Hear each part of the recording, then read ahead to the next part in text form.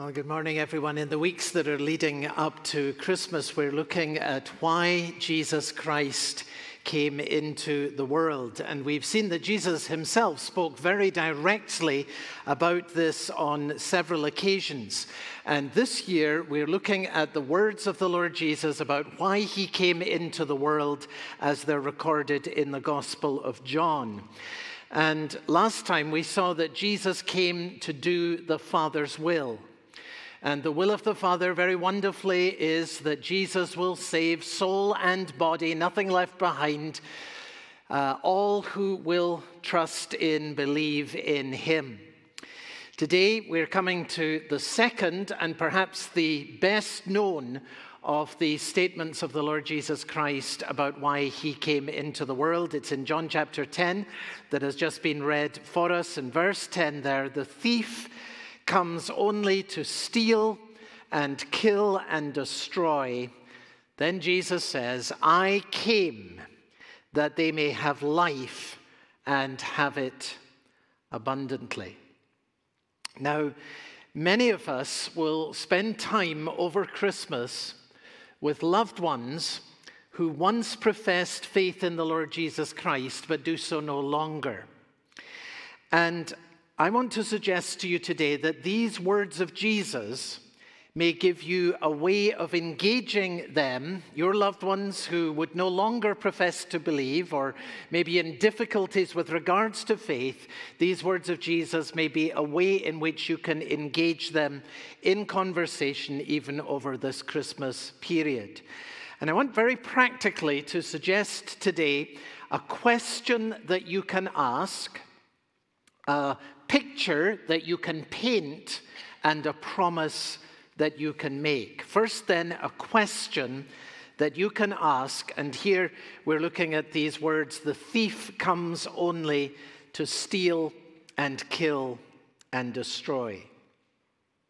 Now, notice that Jesus first tells us the thief comes to take what you had, the thief steals.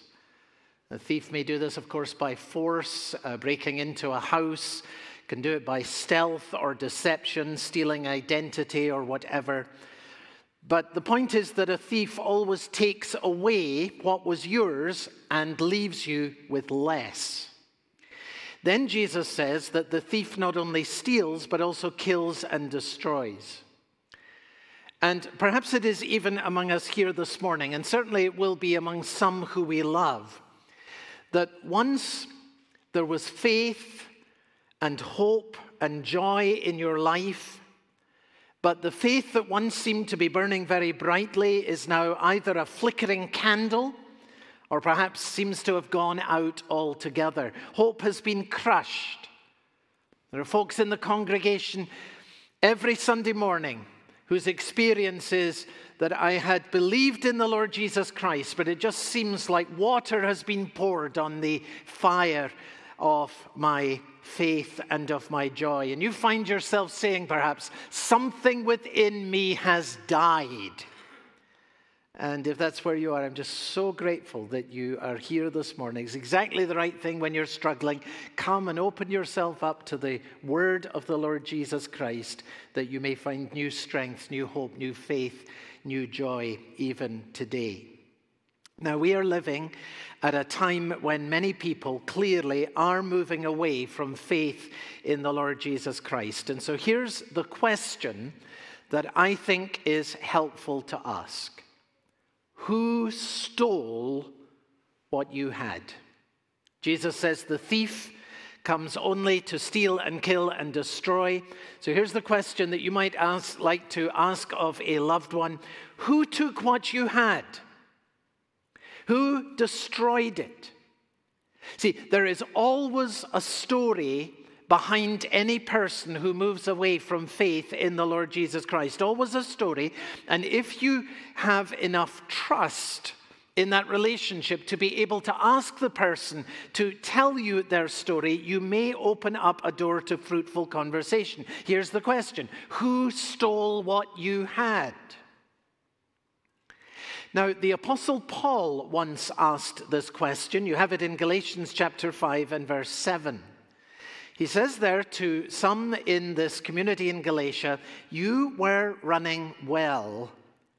Who hindered you from obeying the truth? So, see what's happening here are a group of believers. They were growing in their faith. They seemed evidently to be serving the Lord. They were running well, but they were hindered. And notice that Paul does not say, What was it that hindered you? He says, Who was it who hindered you? You had joy in serving Jesus. You, you, you, you, you were um, running well. And someone has hindered you. Now, who was it? That's the question. Who was it that got in the way of your faith? What was it that they said or did that stole your peace, killed your hope, destroyed your joy? This is a really important question. You may be able to help a person by asking it in the right way and at the right time. And notice, by the way, the tact with which the Apostle Paul asks this question. The, the first thing he says is, You were running well. Then he asks the question, Who hindered you? And you might be able to say to someone you love, You know, I remember a time when there was great joy in, in you. I, I, remember where it seemed that there was a brightly burning flame of faith in your life, and you did this, and you got involved in that, and uh, you were uh, engaged in this project, and you had these friends, and so forth and so on. There seemed to be a bright flame of faith burning in you. You were running well. But now here's the question something or someone has taken away what you had. Now, who was it? How did that happen? Was there one thief or were there many? You were running well. Who hindered you? Now, that's a question that we may ask of loved ones that are moving away or have moved away from faith in the Lord Jesus Christ.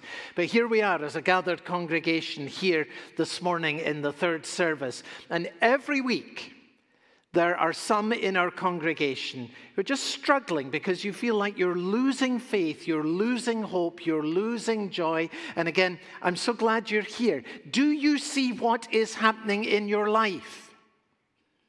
You've been robbed. You've been hindered. Thieves have shown up in your life and they've stolen what you had. You were running well. Now, here's the question Who hindered you? Who stole what you had? Now, how is it that you deal with thieves? Because what Jesus is telling us here is you need to be awake to the fact that this is a world of thieves. There are many thieves at work in this world, and they take away joy and faith and peace from many people. How do you deal with thieves? Well, Jesus says in verse 8 All who came before me are thieves and robbers, but the sheep did not listen to them. And I would say to you in all candor that if it is the case that you have been robbed of faith or of hope or of love or of joy, it is very likely that somewhere along the line you have been listening to the voice of someone who actually was a thief. You didn't realize they were a thief. But the effect of your listening to their voice is that you've been robbed of something that you once had. Now, it may be that this is a friend, or a group of friends, or an author, or a whole series of books that you've been reading, and the effect is you've been robbed of faith and of peace and of the joy that you once had. It may be a teacher, it may even be a pastor who's no longer holding to the Bible and has wandered off on some other path, and you've lost under that person's influence the joy and the peace and the faith that you had before. It's been listening to the voice of a thief that has led to this loss in your life. And your recovery is going to begin when you stop listening to the thief and you start listening to another voice. And I'm here today to plead with you to listen afresh to the voice of our Lord Jesus Christ. And the first thing he's saying to you from these verses of Scripture is you need to realize that you live in a world where there are many, many thieves.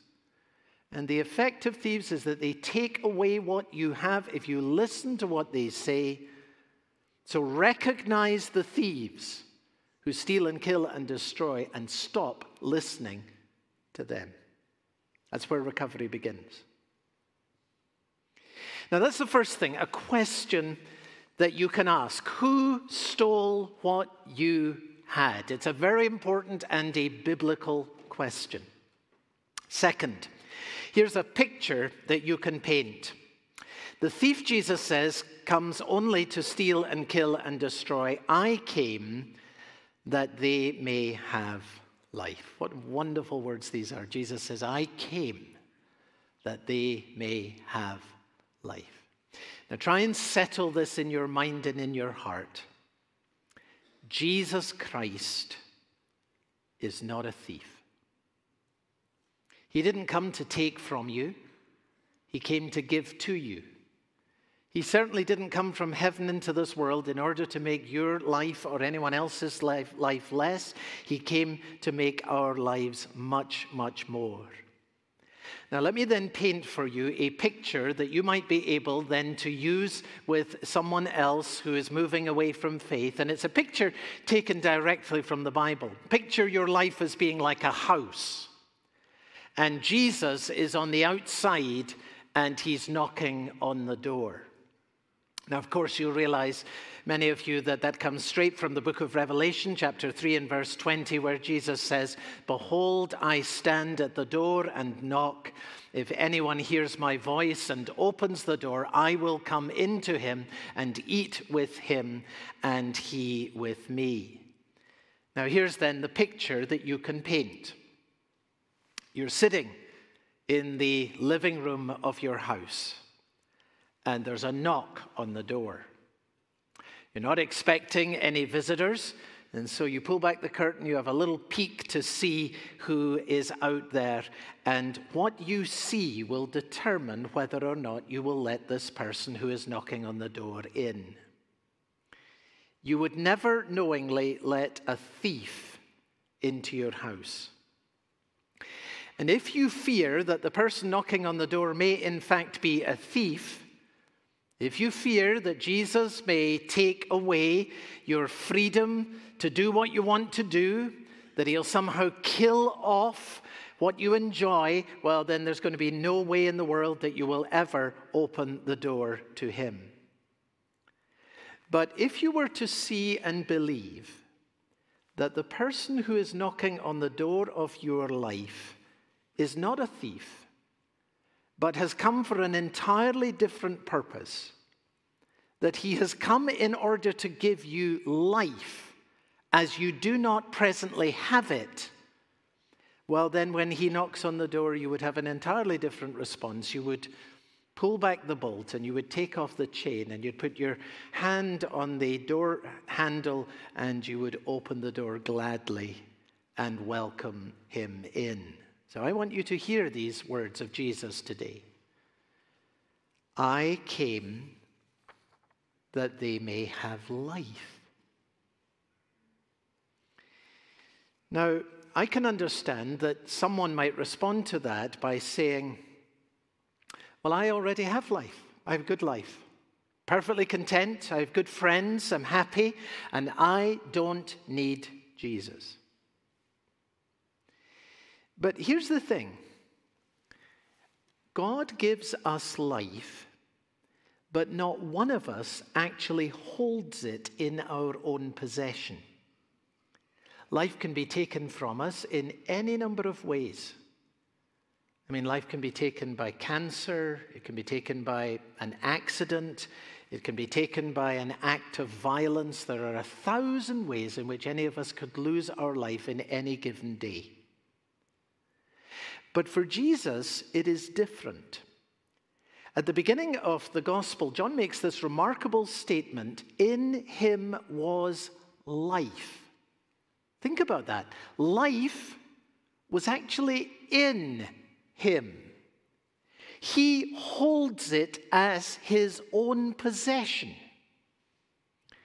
And later in John's Gospel, chapter 5 and verse 26, we have these remarkable words of Jesus where he says, For as the Father has life in himself, so he has granted the Son also to have life in himself. This is an amazing statement. The Lord Jesus Christ has life in himself. Life is in him. No one can take it from him. And, and Jesus says that he is therefore able to give this life that is in himself to whoever he chooses. That's John chapter 5 and verse 21. Now, this is a little hard to get hold of, so let, let, me try and give it to you in a picture by way of illustration. And this picture is right out of the Bible. One of the best known stories in the Old Testament is the story of how God made himself known to Moses through a burning bush. And you may remember in Exodus in chapter 3, we're told that God appeared to Moses in a flame of fire in the midst of a bush, that the bush was burning and yet it was not consumed. So here are these flames, here's this fire, and it's in the bush, but it does not derive its life from the bush. It, the flame is burning, and yet the bush is not consumed. Now, think about that with me for a moment. It's an extraordinary picture. Because we all know that a fire burns as long as there is fuel. You sit around the campfire in summer in an evening, and you put wood on the fire, and as long as you keep adding more wood, the fire keeps uh, on burning. But the fire does not have life in itself, it depends on the wood for fuel. And when the wood is consumed, well, very simply, the fire dies down and eventually it will go out. But you see, what Moses saw was a fire that had life in itself. Uh, the bush burned and yet it wasn't consumed. The fire had its own life. It did not depend on the bush for fuel. And, and God is revealing himself to Moses in this way Moses, this is what I am like. I do not depend on anyone or anything for my life. I have life in myself.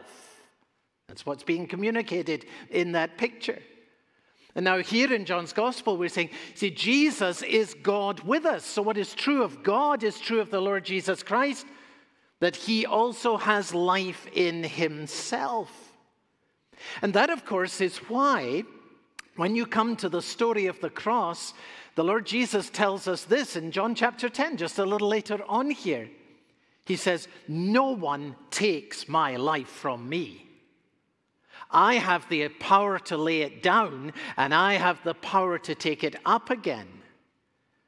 So you see, when Jesus hung on the cross and suffered there as the sacrifice for our sins, he could have at any moment released himself from the cross by his own divine power. And he didn't do that. Why? Because he gave himself as the sacrifice for our sins. He laid down his own life. He has the power to lay it down, and he had the power to take it up again on the third day when he rose from the dead. Why? Because life is in him. He has life in itself, in himself. Now, here's this marvelous truth about Jesus life is in him. Now, here's the question how does the life that's in him get into us? And the Bible is very, very clear in the answer to that question. Life is in Jesus, if Jesus is in us, life will be in us. And that's the teaching of Galatians chapter 2 and verse 20 that many of you will know well. I have been crucified with Christ, and it is no longer I who live, but Christ lives in me. And the life that I now live in the flesh, I live by faith in the Son of God who loved me and gave himself for me. Life is in Jesus. When I come to him in faith, Jesus is in me. And when Jesus is in me, the life that is in Jesus is also in me. Now let's go back then to the picture of Jesus knocking on the door of your life. Suppose the person in the house feels that you have life already. You know what? I'm quite content. I have all that I need in this house. Here's this person knocking on the door. The person knocking on the door doesn't have anything that I need or anything that I want. Why should I ever open the door? I mean, perhaps that person will turn out to be a thief anyway.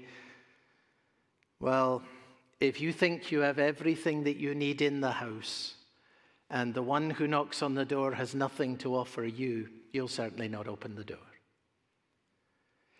But do you see that Jesus is telling us here that precisely the opposite is the case. Here you are, the person inside the house. The person in the house does not have life. Does not have life. The one who has life in himself is the one who's outside and knocking on the door. And he's no thief.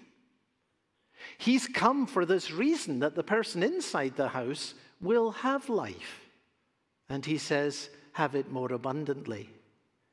And when you come to see that Jesus has life in himself, and the reason that he has come is in order to give the life that he has to you, well, then when you come to see it, if you believe it, you will get up and you will gladly and freely open the door. Now, here then is a question that you can ask and a picture that you can paint. Thirdly, a promise that you can make. Uh, the thief comes only to steal and kill and destroy, Jesus says.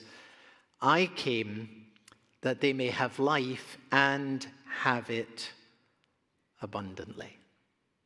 Now, here in the last section, I want just to speak directly to everyone who is a believer in the Lord Jesus Christ, which I'm sure is the vast majority of us here in this third service.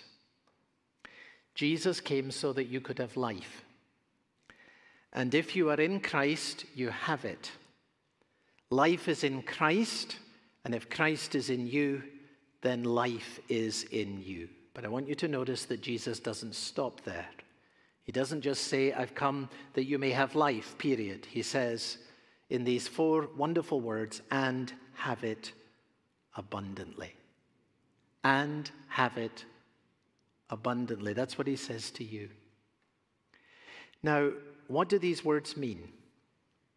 It would be very easy, of course, for us to say, well, now Jesus wants you to have a life of total fulfillment, health and wealth and satisfaction in your job and in your marriage, and for you to have everything that you want just when you want it, and so forth and so on. And of course, that would be a complete misunderstanding of this verse.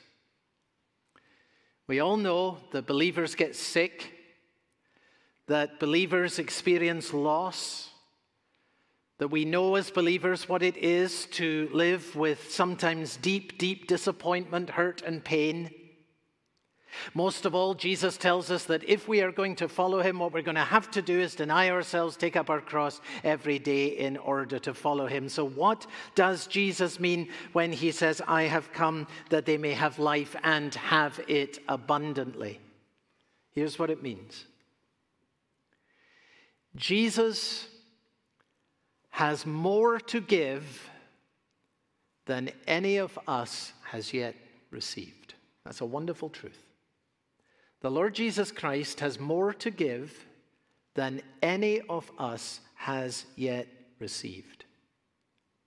And what does a more abundant life look like? Let me give you seven answers. I'm going to be very quick. Seven ways in which we should seek more from our Lord Jesus Christ.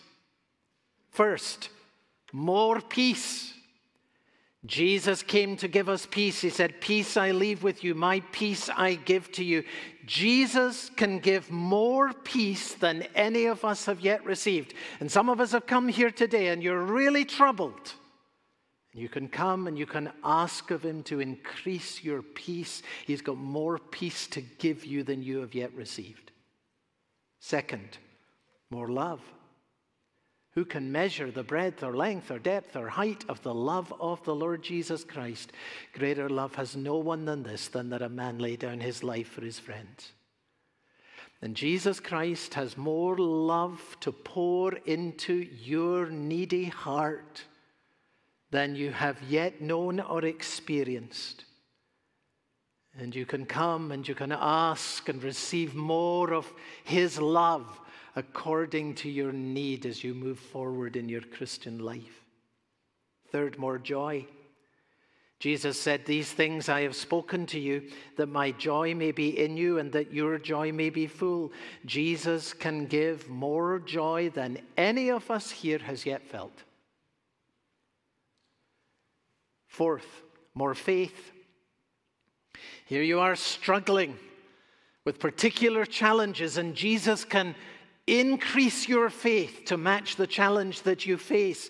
In the Bible, we read about little faith, we read about great faith, growing faith, strong faith. Jesus is the founder and the perfecter of our faith. What that means is Jesus is the one who brings our faith into being, and Jesus is the one who brings our faith into maturity. That means that He can give you more faith than you have had, He can give more faith than any of us have yet received. Fifth, more repentance. What a wonderful gift this is. It is the means by which we become more like the Lord Jesus Christ. The grace of God that we receive through Jesus is what teaches us to say no to unworldly uh, to worldly passions and yes to an upright and self-controlled and godly life. And Jesus can give a deeper repentance than any of us has yet discovered. Sixthly, more strength. Jesus can give you more strength than you are experiencing or, feeling right now, and that's what will enable you to move forward in the challenges that you face in the coming days. There was a time when the Apostle Paul in his life began to feel completely exhausted. He had been carrying a burden and he came to the conclusion he could carry it no longer. And at that moment, the Lord Jesus Christ said to him, My grace is sufficient for you, my power, my strength is made perfect in your weakness. Jesus can give more strength than any of us has yet enjoyed. And seventhly and lastly, more hope. But this I call to mind, we read in Scripture, and therefore I have hope. The steadfast love of the Lord never ceases. His mercies never come to an end, they are new every morning. Great is your faithfulness. Here's how you can have the hope that you need. With every day that opens up to you, the mercies of God are going to be sufficient to get you through. You see, the life that Jesus gives, and there's more of it that he has to give than any of us have yet received, that's what makes it possible for you to face life in this world with all of its difficulties, all of its challenges, all of its thieves, all of its pains, all of its disappointments. And if you have suffered loss, these words of Jesus are especially for you. The thief has come to steal and kill and destroy. But Jesus says, I have come that you may have life and have it abundantly. Friends, don't be satisfied with a small measure of what Jesus can give. A little bit of faith, a little bit of peace, a little bit of joy. When this Savior has more to give than any of us have yet received. So, why would we not then take seriously his words when he says to us, Ask and you will receive, seek and you will find, Knock, and the door will be opened to you. Jesus Christ is able to give you all that you need for all that you face in every season and circumstance of your life. A question you can ask, a picture you can paint, and a promise you can make. Let me just in this last moment come back to that picture of Jesus knocking at the door. And to the person who, even this morning, is unsure about whether you should get up and, and open the door of your life to the Lord Jesus Christ, I, I just want to say to you in closing you know, the person who's knocking on the door of your life really knows you. Uh, he knows the thieves who've taken from you. And he knows the extent of what has been taken. You will find, even if you think right now that Jesus seems like a stranger on the outside, if you will invite him in, you will soon feel completely at home with him because he knows your whole story from beginning until right now, and he knows your future story as well. And the person who's knocking on your door not only knows you, but he loves you. He really does. He gave himself for you. He came into the world so that you should have life abundantly, and he has more to give than you will ever be able to receive in the whole of your life. And even to all eternity, you'll go on receiving more and more and more and more from Jesus Christ. The person who is knocking on your door is not a thief. And when you see who it is that knocks on the door of your life, and when you see what it is that he can give to you, well, then, very freely and very gladly, you're going to get up and open the door and welcome him in. Let's pray together. Father, we are so grateful today that the Son of God did not come into the world to steal or kill or destroy. Thank you that he came to give us life and to give it more abundantly. And we ask, Father, therefore, that we may never be satisfied with only a small measure of what you are able to give, but that the pattern of our life by faith may be to draw near to you and to seek from you what you hold in your hands, that we may experience the good of more and more of it. And for those who we know and love who have wandered away and really think that you would be like a thief who would make their life less. Father, we pray that they would come to see how little is on the inside of the house and how much the Savior who knocks on the door holds in his hands and is ready to give to all who will open the door and welcome him in. Hear our prayers, and may there be many who open the door to the Savior over this Christmas period. For these things we ask in Jesus' wonderful name.